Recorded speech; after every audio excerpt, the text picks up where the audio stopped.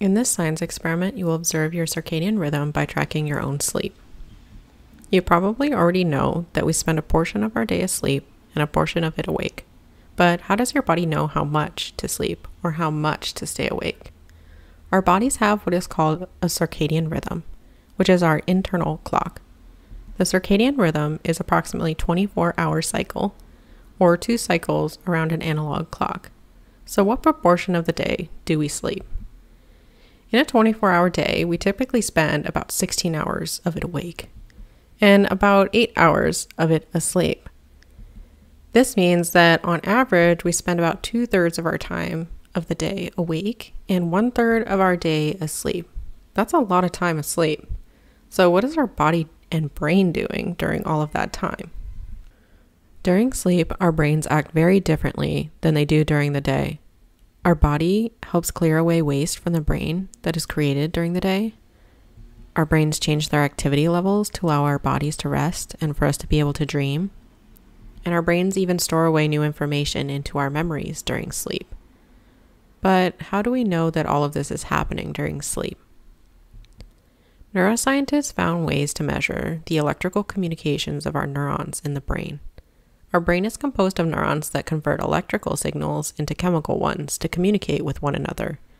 These neurons work together to form networks, and these many networks are entangled together to form our brains. So, how can we measure what the brain and body are doing during sleep? Although we can't currently directly measure what the brain is doing during sleep at home, we can measure what the body is doing with wearable devices and we can use that information to infer what our brain is doing during sleep. Before we go to sleep, we are fully alert or awake. Our brain signals to our body to relax our muscles so that we can fall asleep. Before sleep, or during stage zero, we have more body movements and our brains transmit both alpha and beta waves. Once we fall asleep, our brains temporarily paralyze our body so we don't act out our dreams scientists discovered that our heart rates slow down during sleep and that our heart rate varies more when we transition from one stage of sleep to another. Therefore, this variation in our heart rate can be used to infer what stage of sleep we are in.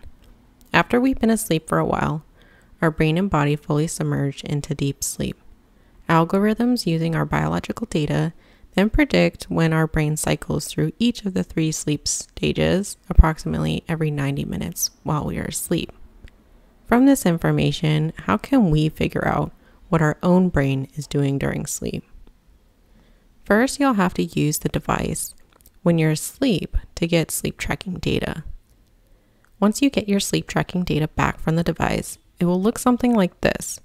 The device will measure your body movement and heart rate variability and associate them with very general stages of sleep, like deep sleep, light sleep, and being awake. In the app, it will show you the summary data after each night of sleep. It will also show you the more detailed information of the sleep cycles below that. Let's put together what all of this means with our sleep tracking data. When we wake up during a night's sleep, the accelerometer detects our body movement. This wakefulness is known as stage zero of sleep and is associated with both alpha and beta brainwaves. During light sleep, there is little movement, and heart rate variability occurs between sleep stages. These stages of light sleep are known as stage 1 and 2 and are associated with the theta brainwaves. Deep sleep has very similar physiological measures to stage 1 and 2 of sleep, but it is associated with the slowest brainwaves, the delta waves. Currently, these devices don't have a physiological measure associated with rapid eye movement, or REM sleep. This is known as the fourth stage of sleep and is when dreaming occurs. Now that we know how to interpret our sleep tracking data, we can design an experiment to better understand our sleep and circadian rhythm. Regular sleep consists of an attempted 8 hour night sleep with a consistent bedtime and wake time each day. After you've established a week of regular sleep, the second week you will add a daytime intervention to see how it impacts your regular nighttime sleep schedule. Some ideas for interventions could include using a phone screen before bed for 30 minutes each night, adding a 30 minute afternoon nap at the same time each day, drinking a single caffeinated drink during the morning or early afternoon, performing 20 minutes of exercise right before bed, or eating a snack each night right before bed. After you've chosen your intervention, you can start your experiment by establishing a regular sleep schedule. Each night before bed, wear your personal device to track your sleep. Maintain a regular sleep schedule for one week, recording your total sleep time and time in each sleep stage every day. Calculate the average daily sleep time and time in each sleep stage over one week. Add your intervention to your day and repeat these steps for one additional week with the sleep intervention.